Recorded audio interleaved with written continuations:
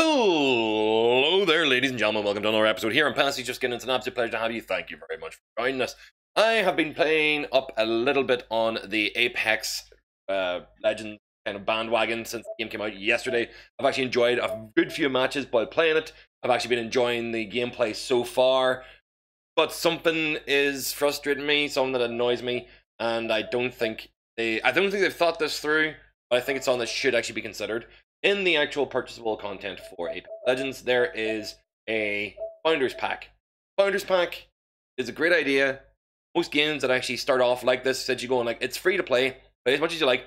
But if you're really enjoying it, would you mind buying this pack? Just you say, like you've essentially bought a game for what the price was is, as long as you got the appreciation out of it. And Founders Packs tend to include things like all the future legends and something else. Maybe like in-game currency and future legends. That's essentially what a founders pack should be. That's what it's actually been done so far as. It's been done with um, Brawlhalla. It's been done with Paladins. It's done with Smite. It's done with and these are these are all games that are doing extremely well for themselves, uh, even though they may not be the the most commonly most recognized name within their genres. But what they decided to do with this one was uh, in-game currency and a bunch of skins and a badge. A badge for founders, specifically you only get if you buy the founders pack. That's the only thing that makes this particularly unique. This is bullshit. At £25, it should not be a founders pack. A founders pack is something like this. I'm gonna find one from the actual store. Just have I'll grab one. I'll grab the Paladins one because I already have the Paladins one myself. I bought that back whenever it came, first came out as uh whenever it's open beta kind of what came out. And I enjoy. I was. I essentially looked at them and was like, I would do not want to have to be rotating in and out characters and buying ones as I go along. I like being able to characters with two unlockable characters in your game, Apex, um, you don't. Like, I, I, I have got the presumption that it is not going to be the only legends in the game. You intend to put more legends in as the game goes on, or mo- essentially modifications of those characters, but you can buy a different version of them. Essentially, I can see that being definitely part of your business model. But if you do that as part of your business model, you kind of have to take into account that people at the very beginning are to want to have gotten the benefit of actually being there at the very beginning, who supported you whenever this game came out for free. What we're looking for here. Um, let's see. Um, let's want to go with Paladins. Fucking easy one I can remember. Paladin.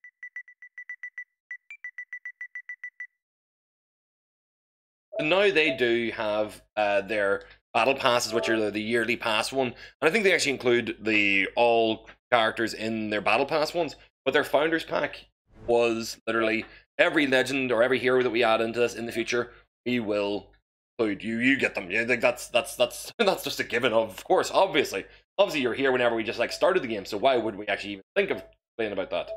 Where is it? Champions pack, twenty five. That's actually for thirty five characters. So you're you're one to charge twenty five pound for in game currency whenever you can actually get trying to find it. Is the Founders Pack still listed there? Because I would be whenever I purchase it, it might still be there. No, they don't actually have it still listed there. It's annoying because I actually um I did buy it back whenever it was there.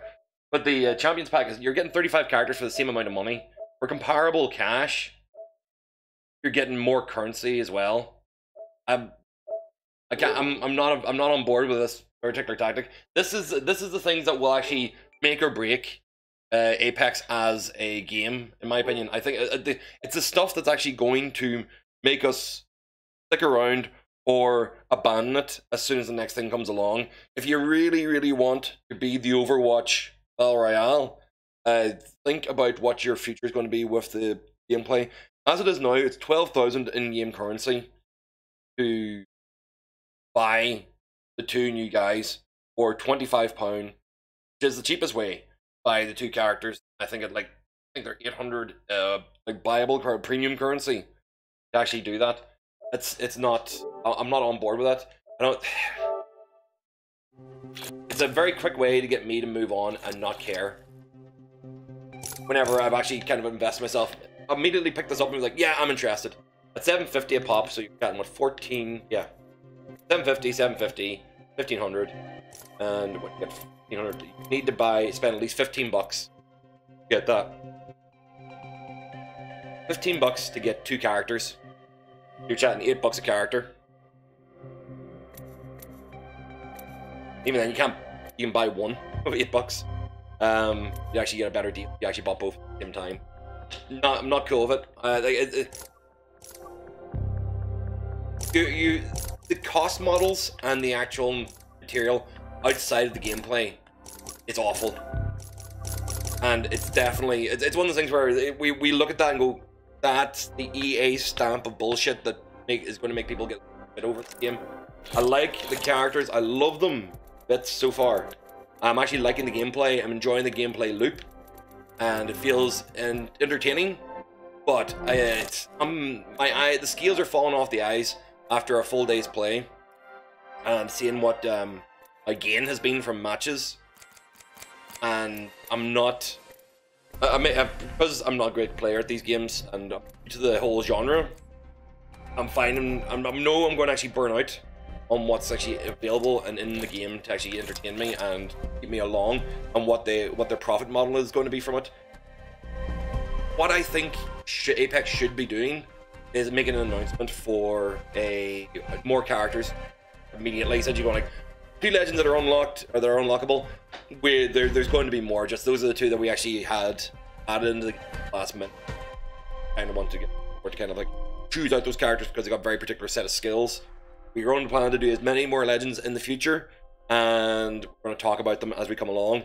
And doing a founders pack where you buy those up rather than actually like nickel and dime or tenorous, ten pound a pop for a character, eight pound. You know, like seven hundred fifty. The, the the the credit line on those is just at that awkward point. I know you can buy them with in-game currency, but I mean, it doesn't gain very quick. You know, legend tokens don't gain very quick. You're chatting twelve thousand, and that's twelve hundred. and um, I, I, I just it, it, time investment not there yet for me. So yeah, recommend taking a look at Apex for your entertainment value.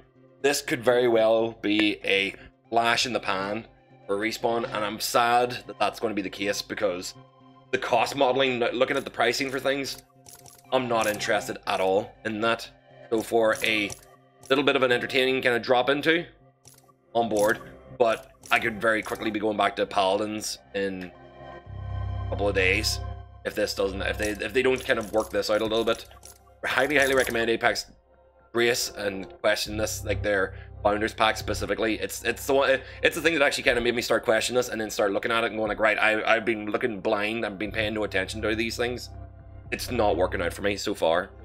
Um hopefully feel free to jump in and catch me online. I'm going to be playing a bit of Apex for the rest of the day. I'm going to be playing for the next couple of days, kind of get more enjoyment out of it. But uh, it's always better with a group of friends and always better with a squad that talks to each other.